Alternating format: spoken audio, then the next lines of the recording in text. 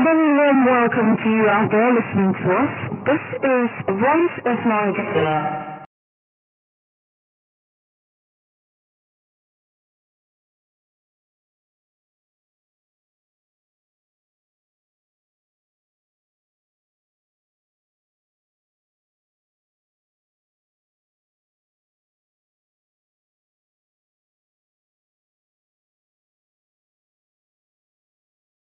Will be handing it over to our full photo service. So now we have a lineup of beautiful programs, entertaining and enlightening for you.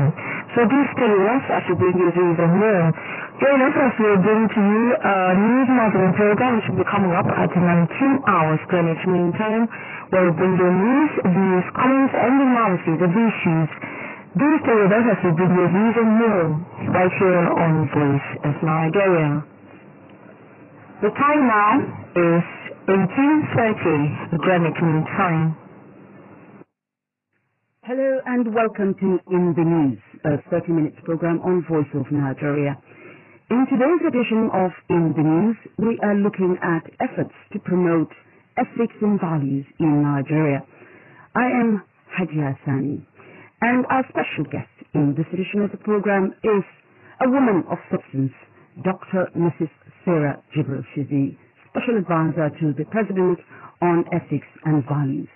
Dr. Sarah Jibril, you're welcome to this edition of In the News and to the studios of Voice of Nigeria. Thank you so much, my sister. Nice being with you after a long time. Tell us, how has it been since you took over this office?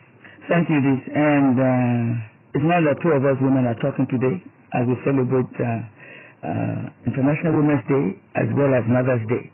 So this week is actually in line with the assignment given to a fellow woman like you to deal with the issue of ethics, which means uh, good character, what the parents do, including the women.